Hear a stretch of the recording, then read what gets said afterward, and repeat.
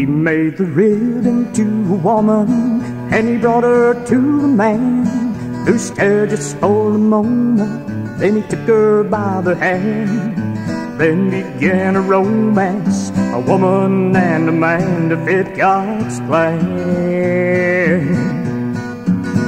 He'll leave his father and his mother and cleave unto his wife. He'll never love another. She'll be the one for life. She'll be his children's mother and stand beside him in his time of strife. It is not good for the man to be alone. So God made him a family.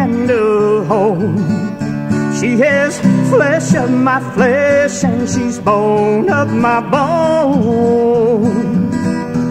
And now man has a family of his own, kneeling at God's throne.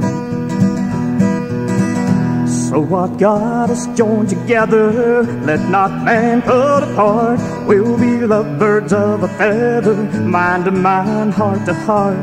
Our love will live forever and I'll be yours until death do us part.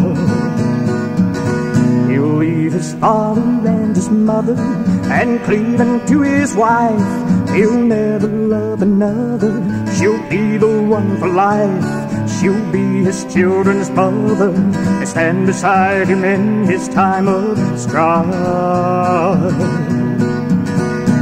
It is not good for the man to family and a home. She is flesh of my flesh, and she's bone of my bone. And now man has a family of his own, kneeling at God's throne. Yes, man has a family of his own kneeling at God's throne.